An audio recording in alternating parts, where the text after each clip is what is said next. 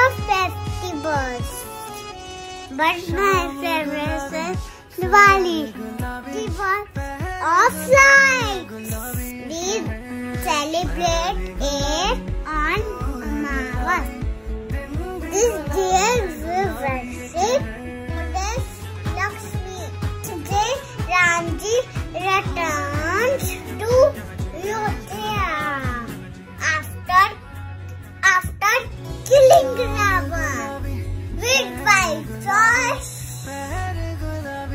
houses, offices, and shops are houses with lights. Also make rangoli.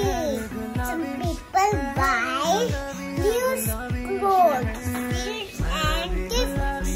Family, friends, we enjoy